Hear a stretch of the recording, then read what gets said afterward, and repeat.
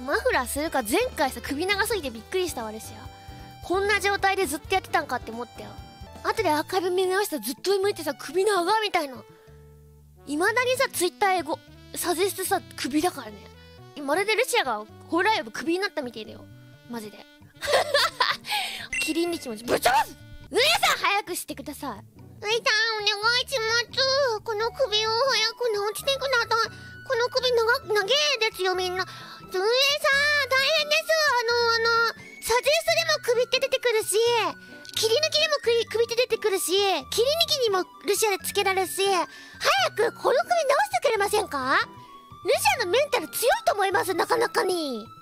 早くしてね。